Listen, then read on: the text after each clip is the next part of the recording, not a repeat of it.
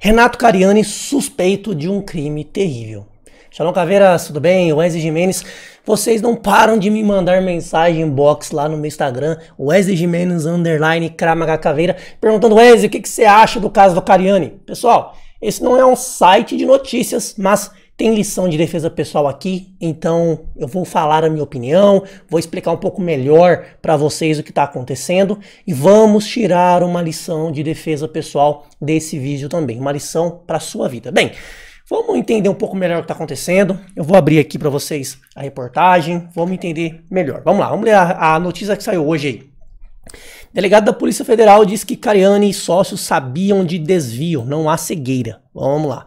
O delegado da Polícia Federal, Fabrício, disse que o influenciador fitness Renato Cariani e seus sócios tinham conhecimento pleno do desvio químico para a produção de crack, tá aqui o nome da droga. Né? O que aconteceu? O delegado disse que não havia uma cegueira deliberada sobre os desvios em entrevista na Globo News. Os sócios tinham conhecimento pleno, isso é gravíssimo, hein, do desvios dos produtos químicos. Há diversas informações bem robustas nas investigações que determinam a participação de todos eles de maneira consciente. Não há uma cegueira deliberada em relação a outros funcionários. Vamos lá. É, tá aqui, seria produzida e distribuída para os estados de Minas Gerais, Rio de Janeiro e São Paulo, segundo o delegado. Cariani foi notificado hoje das investigações e deve se apresentar à Polícia Federal para esclarecimentos. Surpresa, entre aspas. Mais cedo, Renato Cariani se posicionou após ser alvo da busca e apreensão. Para mim, para minha sócia e para todas as pessoas foi uma surpresa, afirmou Cariani. Pessoal, vou trazer o vídeo aqui também dele explicando aí para a gente poder analisar e ver um pouco melhor, tá? Vamos ver o vídeo aqui da, da situação. Aqui, ó a operação da Polícia Federal, né, feito aqui nessa manhã de terça-feira. Estão vendo a imagem aí então, né? Olha lá. O principal alvo da operação é a indústria química Anidrol, sediada em Diadema, na região metropolitana de São Paulo, que tem como sócio o influenciador fitness Renato Cariani. Aqui está mostrando o um local, você está vendo aí que a Polícia Federal fez as buscas, revelaram que o esquema abrangia a emissão fraudulenta de notas fiscais por empresas. Pessoal, isso aqui é acusação grave, hein? Usando laranjas para depósitos em espécie, como se fossem funcionários de grandes multinacionais. A reportagem passando aqui pra gente. Tá aqui o depósito. Galera, se isso for verdade, a coisa vai feder muito mais, hein? Ao, todos, ao todo foram cumpridos 18 mandados de busca e apreensão. Aí está mostrando os estabelecimentos, casas, comércios. Os investigados responderão por crimes de tráfico, associação para fins de tráfico e lavagem de dinheiro. É, dá, um, dá muitos anos de cadeia isso aí, hein? Vamos ver então o que o Cariani disse a respeito desses fatos. Ele postou um vídeo lá no Instagram e vamos assistir agora. Pessoal, tô vindo aqui para poder me esclarecer. Pessoal, tô vindo aqui para poder me esclarecer para vocês. Afinal de contas, está rodando tanta notícia aí, tantas mensagens e eu preciso dividir com vocês o que realmente aconteceu. Bom, pela manhã eu fui surpreendido com o cumprimento de mandado de busca e apreensão da polícia na minha casa, aonde eu fui informado que não só a minha empresa, mas várias empresas estão sendo investigadas num processo que eu não sei, porque ele corre em processo de justiça, então, os meus advogados agora vão dar entrada pedindo para ver esse processo e aí sim eu vou entender o que consta nessa investigação. Eu sofri busca e apreensão porque eu sou um dos sócios. Então, todos os sócios sofreram busca e apreensão. Essa empresa, que é uma dessas empresas que eu sou sócio, que é a empresa que está sofrendo a investigação, ela foi fundada, pessoal, em 1981. Então, ela tem mais de 40 anos de história.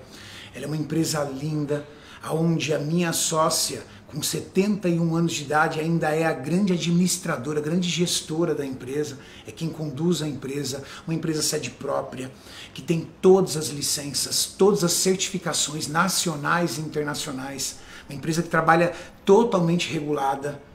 Então, para mim, para minha sócia e para todas as pessoas foi uma surpresa, como foi para você também. Mas eu também quero agradecer do fundo do coração o carinho e a mensagem de cada um de vocês. de você que conhece a minha história, que sabe quanto eu trabalho, que eu divido todo dia aqui no meu Instagram, nos meus podcasts, como eu fui construindo cada uma das empresas, como eu trabalho todo dia. Então, muito obrigado pela mensagem de cada um de vocês, por cada mensagem, por todas as postagens. Obrigado de verdade. E logo que eu tiver acesso a esse processo, eu divido com vocês o que realmente foi, porque eu não tenho acesso por enquanto, tá bom? Mas eu tinha que dividir aqui com vocês o que foi. Valeu? E aí, o que, que você achou desse caso? Tem muita gente me perguntando, Wesley, qual a sua opinião? Meu papel aqui é trazer uma lição de defesa pessoal para você, não ficar expondo opinião se ele é culpado ou inocente, até porque para dizermos se ele é culpado ou inocente, tem que se ter acesso ao processo, às informações desse processo, quais são as provas acusatórias, qual será a defesa dele. Não tem como nós, não tem como nós sabermos, né? Qualquer um que disser alguma coisa aqui estará jogando uma torcida que queira que ele seja condenado ou que queira que ele seja absolvido. E o fato é, justiça tem que ser feita. Justiça tem que ser feita. Eu espero sinceramente que justiça seja feita da forma mais limpa possível. Se ele for culpado, que pague caro, que pague muito, mas muito caro e que sirva de exemplo. Se ele for inocente, que ele tenha a reparação justa ao, ao dano à imagem que ele sofreu e a todo o prejuízo para a família. Imagina como a família dele está, como ele está sendo inocente. Então, queremos realmente que a justiça seja feita e seja feita de forma limpa, clara. Agora, Wesley, qual lição de defesa pessoal nós podemos tirar desse fato? A lição é que você nunca sabe de onde vem a porrada. A lição é que ninguém está acima de suspeita alguma. Então entenda que quando você está na rua, não é porque uma pessoa parece rica, parece culta, parece simpática, boa pessoa, não é porque ela é famosa, não é porque. Não importa qual virtude ou qualidade a pessoa demonstre, todos são potencialmente criminosos, todos são potencialmente suspeitos para cometer alguma atrocidade. A UES é injustiça? Não.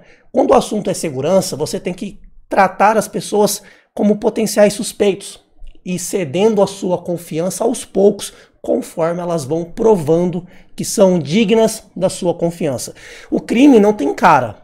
Nós temos o estereotipo criminoso, é sempre aquele cara mal vestido, falando em gíria. Claro que existe muitos criminosos assim. Eu trabalhei 10 anos dentro de um presídio, então eu posso te dizer que o criminoso tem alguns trejeitos muito característicos. Porém, os maiores criminosos no sentido financeiro, eles disfarçam muito bem. Eles se camuflam na multidão. Eles se passam por celebridades, por ricos, por pessoas ah, caridosas, mas são lobos em pele de cordeiro. Não estou dizendo que é o caso do Cariani, mas é uma lição de defesa pessoal para que você entenda que há muito influenciador aí sim cometendo crimes. Há muita gente rica cometendo crimes. Há muita gente passando por intelectual, inteligente, simpático, legal, filantropo e é um criminoso. Então, nunca coloque a sua mão no fogo, nunca coloque a sua vida em jogo por confiar em outra pessoa. Mas diz aí, qual a sua opinião? Coloque aqui nos comentários. E vencer. Caveira